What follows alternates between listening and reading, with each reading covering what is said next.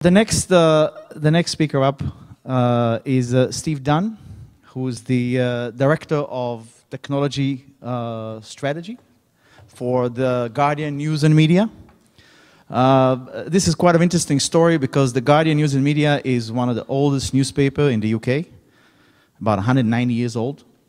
And this is a great success story because they made in 1999 the switch from traditional print into online media. And today they're getting uh, more than 40 million hits, uh, more, sorry, 40 million visitors per month. Uh, funny enough, uh, when they made the switch in 99, that's exactly where, when Steven joined them. So I'm glad to have you here to share with us the, the experience and how they made this wonderful, successful transition. Please, Steve. Thank you, Eric.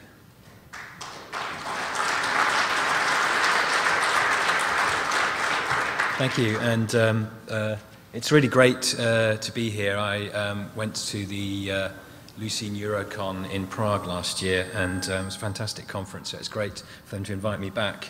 Um, so yes, as uh, Eric said, I work for Guardian News and Media in the UK, uh, publishes two national newspapers, The Guardian and The Observer, and our website, guardian.co.uk. And what I'm going to talk about today is uh, transformation that we've been undergoing, obviously